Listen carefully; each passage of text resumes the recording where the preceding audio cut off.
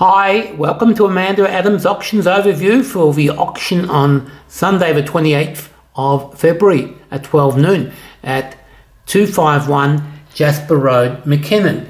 And remember, our next auction will be live on Invaluable as well.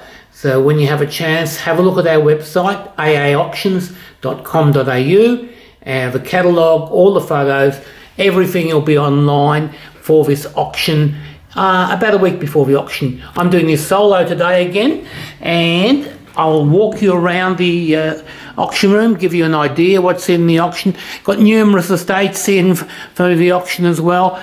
Uh, one from the failure. We're selling the Lillian Frank collection as well uh, from Melbourne. We're selling majority of items from Lillian Frank, Frank's apartment. Uh, so just walk around, give you a quick idea of uh, what we've got. We've got a huge stereo collection from an estate in Kew. Uh, all the items in the box are still unused. And I'll just walk around and just give you highlights of some of the things in the auction. Lots of furniture in the auction from the estate. Uh, lots of interesting art as well. walk you around and if I see something I like or stands out, I'll call, uh, call that and tell you what's in here. Lots of good plateware, sterling silver. If you want to start your own fruit shop, this has come from a house in Malvern that used to be Fruiterers. And there's the old cash register as well. Uh, we're selling things from uh, the owners of the Cuckoo restaurant as well. This is one of the paintings uh, from the house this one here, there's another one in the other room. This is all uh, taxidermy from the estate in Nephalia. Some nice bronzes in the house, uh, from the house as well. Okay, lots of uh, character jugs. Uh, this is a continuation from the estate in Keilor. This is the last lot of that. Uh, these are interesting, the Blackamoors. These have come from Lillian Frank's uh, apartment. She loved those. Lillian's still alive in a nursing home, but still going well. Lots of sterling silver. Let's walk around the passage, have a look around what else we've got. Ah, we've got a collection from Brighton as well, Chinese watercolours, and, and on silk as well. I think there's about a dozen of them, and a, a few of them really good artists. Look at these fantastic works by Charles Billich uh, two watercolors of Venice, stunning works. In this auction, we have a lot of estate jewellery as well. Um, you can have a look online. There's a collection that's been sent down from Tasmania for us to sell, and lots of other uh, interesting jewellery bits. Uh, there's a huge um, coin collection from uh, two estates. One from James Lee Estate, who used to be one of our long-term clients from uh, Briar Hill. We're selling his collection. A couple of older violins too. One's a, a Melbourne-made violin from the 1920s, so you'll be able to have a look on the catalogue um, what brands they are. Keep going around here. Early work by Leon Hanson, big work. And there's a really nice work, I'll go back here, of Max Middleton.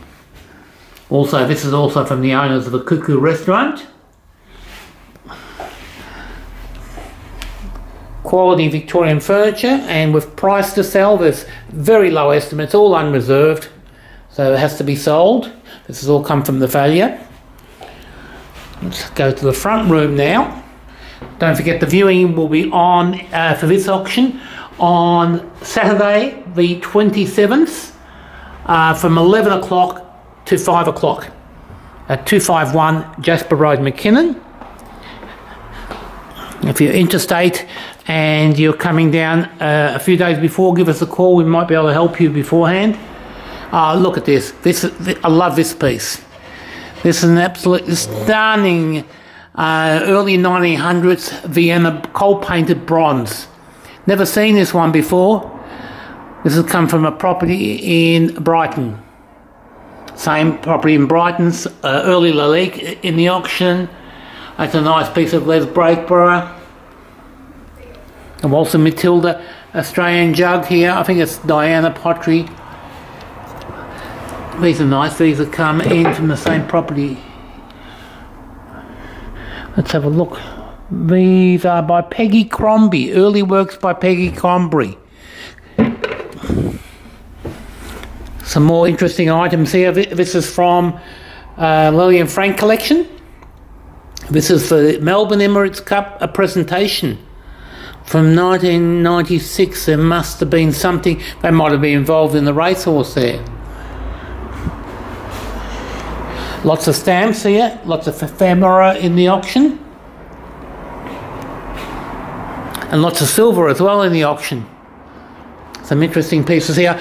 Uh, uh, this is Lenore uh, Boyd. A couple of bronzes there as well. Some more Scrimshaw, Cloisonné, sterling silver. Heaps of really interesting things. Lots of interesting retro furniture too. This beautiful uh, Rosando style sofa. Adjustable sofa. Let's have a look for some more sterling silver. Uh, continental silver pieces there. A few pieces of antique ivory as well. Georg Jensen silver. Now this is some of the uh, a large collection of coins in the auction. Coins, Australian and world coins, uh, banknotes and also stamps.